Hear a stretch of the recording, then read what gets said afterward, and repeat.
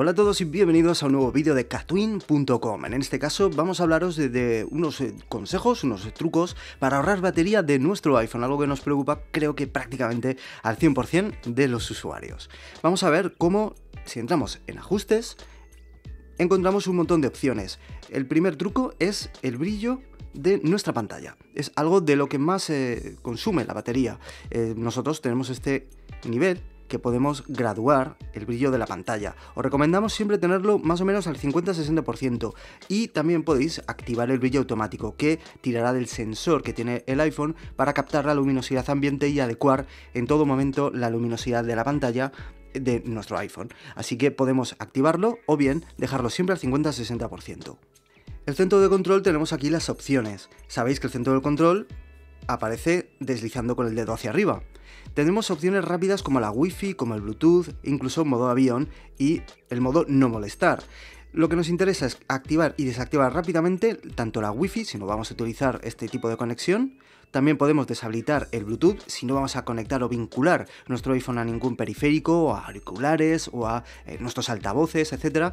Podemos también deshabilitarlo. De este modo ahorraremos batería. Y además siempre con el centro de control lo tendremos, si lo necesitamos, a mano. Las notificaciones. Aquí encontramos la lista de todas las aplicaciones que se incluyen en el centro de notificaciones que aparecerá deslizando el dedo hacia abajo. Aquí tenemos todas las aplicaciones que nos están mandando notificaciones y que por tanto están preguntando al servidor qué hay nuevo. Tenemos la posibilidad de deshabilitar la que no nos interese. Por ejemplo, si en esta aplicación no nos interesa recibir notificaciones, podemos deshabilitarla. De este modo, esta aplicación no estará preguntando al servidor y ahorraremos batería. Si entramos a general y bajamos hacia la mitad, tenemos uso. Aquí podemos habilitar o deshabilitar el que veamos el porcentaje de batería restante. Y también tenemos el uso de la batería, que nos va a dar estadísticas muy precisas del uso de la última carga, además de algunas sugerencias, como el brillo automático o el bloqueo automático veremos el uso de la batería, que es lo que más nos interesa, de las aplicaciones que están tirando de batería en las últimas 24 horas o en los últimos 7 días. Aquí podremos hacernos una idea de cuáles son las aplicaciones que más usamos o que más están consumiendo la batería y si encontramos alguna cosa que no nos encaja, podemos aquí solucionarla incluso desinstalando la aplicación. Un poquito más abajo, actualización en segundo plano.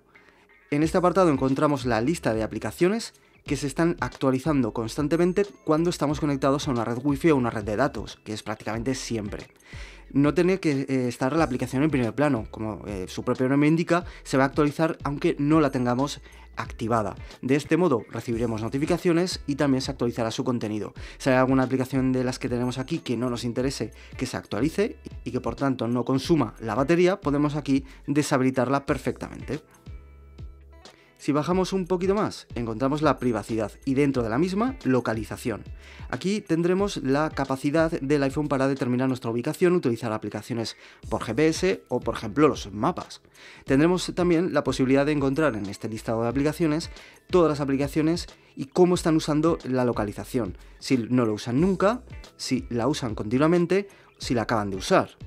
Aquí podremos cambiar cómo la eh, aplicación accede a nuestra ubicación. Si no nos interesa que esta aplicación acceda a la misma, podemos deshabilitarlo y con ello ahorraremos batería.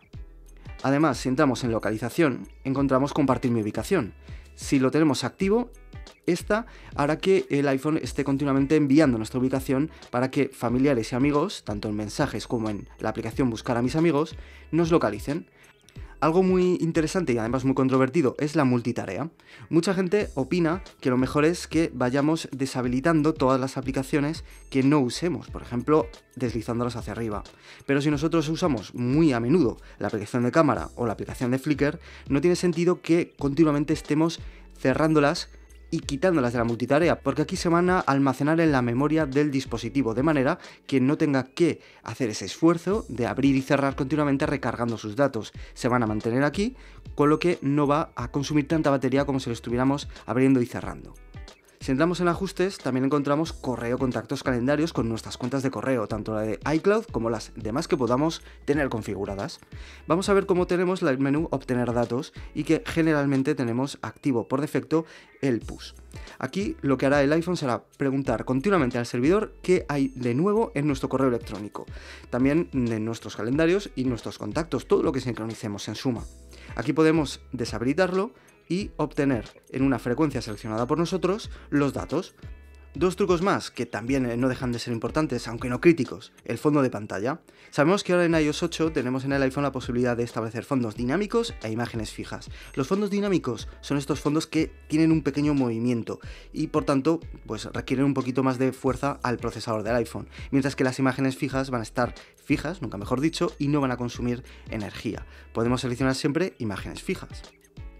Y por último, si entramos a general y a Siri, podemos deshabilitarlo. No hace falta tener activo Siri si no lo vamos a utilizar nunca. Por tanto, podemos deshabilitarlo. Sabéis que Siri lo vamos a activar de este modo y podemos pedirle cosas. Si no lo utilizamos nunca o no nos gusta el sistema, lo deshabilitamos y ya está. Estos son 10 consejos que nos harán ahorrar batería en nuestro iPhone. Nosotros en catwin.com os esperamos con muchos más trucos, reviews de aplicaciones, reviews de productos y mucho más, tanto en nuestra web como en nuestras redes sociales.